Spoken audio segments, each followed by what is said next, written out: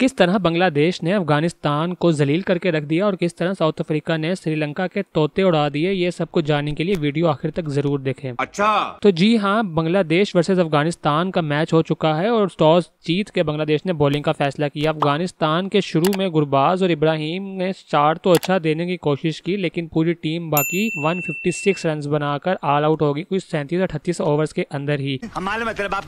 और बांग्लादेश ने यह मैच आसानी जीत लिया छह विकेट से चौंतीसवे ओवर में अंदर ही और अफ़गानिस्तान को जलील करके रख दिया। और इस मैच के अंदर आउटफील्ड के बारे में भी देखा जाए तो बहुत ही घटिया किस्म की आउटफील्ड थी। ज़मीन ही उखड़ी जा रही थी और मिट्टी उनके मुँह पे हाथों में गले के अंदर तक जा रही थी। तो ये बहुत ही बड़ी मिसमैनेजमेंट हुई है इस मैच के ग्राउंड के अंदर। उसके बाद बात करें साउथ अफ्रीका वर्सेस श्रीलंका वाले मैच की तो क्या ही शानदार किस्म की बैटिंग की है। साउथ अफ्रीका के बैट्समैनों ने, डिकॉक ने और असी वेंडरडसन ने शुरू में ही सौ सौ मार दिए। उसके बाद जब बारी आई एडन मार्क्रम की तो उसने तो तबाही मचा के रख दी है। 49 बॉल्स के ऊपर सेंचुरी स्कोर कर दी, जो कि फास्टेस्ट सेंचुरी है वर्ल्ड कप के अंदर। अच्छा।